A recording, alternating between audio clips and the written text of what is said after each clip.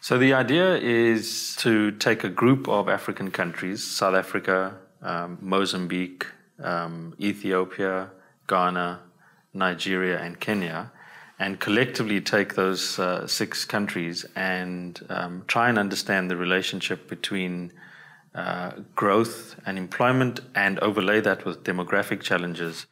In particular, what we've tried to do across the chapters is to explain sectoral transformation or structural transformation at the sectoral level in terms of um, uh, percentage shares of GDP and so on, uh, the relationship between that transformation and its employment outcomes. So, in that context, what we're hoping to do is provide a much clearer and tighter relationship and an understanding of the relationship between sectoral patterns of growth in these African economies and their uh, respective employment outcomes.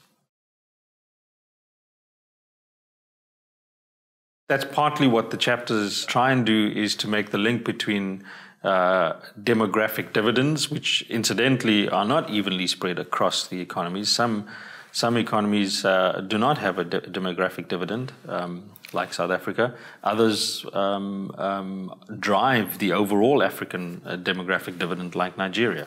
And so the idea then is to is to link this notion of a demographic dividend to to the jobs challenge. That uh, on the one hand, you can see this as a boom for uh, for uh, foreign retailers who see this as an untapped uh, consumer market.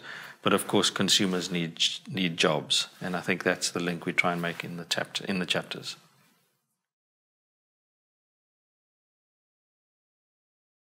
So what we've done in this context is, of course, drawn on the, the wonderful sort of support network and infrastructure as well as resources from UNU WIDER, um, but then also partnered with the Africa Growth Institute at Brookings.